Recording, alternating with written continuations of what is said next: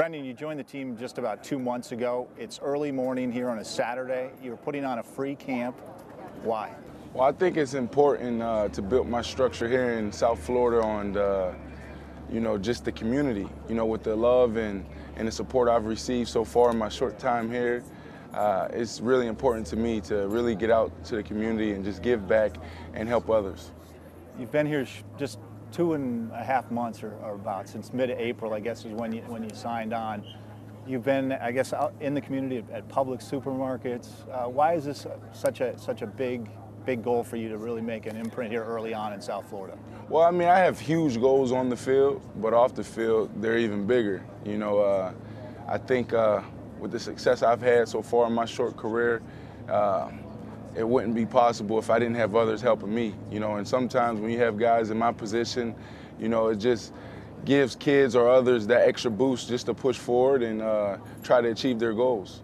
You've been here, albeit a couple of months. How's it been on the field with the guys, off the field a little bit? How has it been with the, your new teammates? Well, you know what? It, it's awesome. You know, every day I come in in uh, the team meeting room, uh, Coach Sparano I, have to tell you, it's, it's, goosebumps that I get on my arm. I've never been around a guy that's so passionate about football and uh, loves it as much as he does. And uh, it, it, it, works. It works for us, and uh, it definitely trickles down to the team. The team, offensively, you look at Chad Henne, uh, there's a lot of promise with him. Uh, coming on. He's got a strong arm, a, a, guy that could throw deep, and I'm sure you appreciate that ability. What do you see in Chad Henne? Very talented arm, uh, probably one of the best arms I've seen, um, and one of the smartest guys I've played with. Last year, playing with Kyle Orton, uh, he was really smart, you know, and uh, I learned a lot from him. But, you know, Chad, I must say, he, he gives it his all, you know, in the study room and also watching film, and it makes him good and his job easier on the field.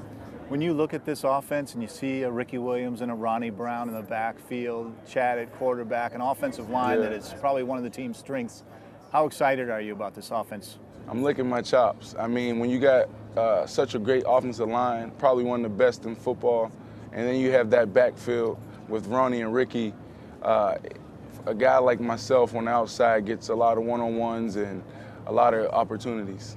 How can you, as part of this wide receiver group, help the other guys, the, the Besses the Camarillos, the Hartline? Yeah. Well, I mean, I can take off pressure, you know, um, get, you know, put them in more one-on-one situations and, and, and they'll probably have better opportunities.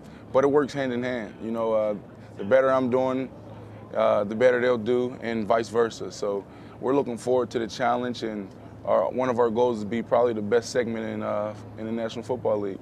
You have the nickname The Beast. Yeah. How'd you get that? I, my play on the field, just um, Jaws Jaworski, probably my second year, my my breakout year, and uh, you know I was playing against Tennessee Titans on Monday Night Football, and he just called me the Beast, and it just stuck with me. Asamoah says you're a defensive lineman playing wide receiver. Do you relish the role of, of the of the punishment, the hit with those DBs?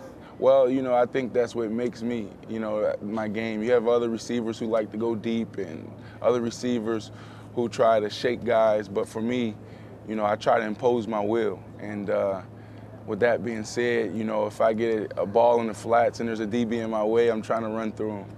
What do you do in your in your downtime? I, I read about restoring old vintage cars. Can you talk about that passion?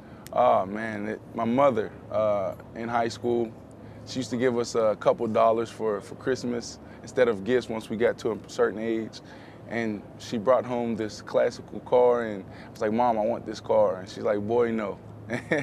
and uh, Christmas time came and she had the keys in the stocking and uh, ever since then it's been a passion of mine. And you're restoring, uh, what have you restored? Right now my, my, my project's uh, Oldsmobile, yeah, Cutlass. So I painted it yellow and um, we're gonna run with that one for now. What's it like? You played at UCF, you, you went to high school at Winter Park, right? Yes. What's it like to be back here in your home state? It feels good. There's a lot of love. Uh, I mean, honestly, I can't even ex explain it. You know, everywhere we go, it, it's amazing. I have family here, and uh, I'll get text messages of people wearing my, you know, pictures of people wearing my jersey, and um, just a lot of fan support, you know, a lot of community support, and I think that's why it's important for me to give back and not wait. You know, a lot of guys wait, but I think it's important for me to build my structure now. Welcome to South Florida. Thank Hey, you. thanks for having me. Appreciate it, man.